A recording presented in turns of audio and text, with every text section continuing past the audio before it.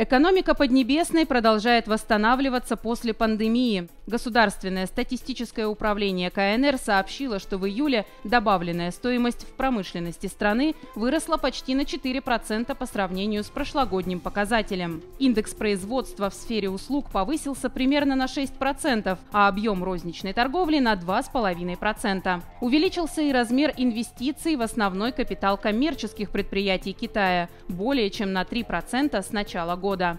В июле объемы производства продолжали стабильно расти на фоне модернизации промышленности. Занятость и цены держались на прежних уровнях, а средства частных лиц оставались под надежной защитой. Аналитики подчеркнули, что китайская экономика сохраняет тенденцию к росту.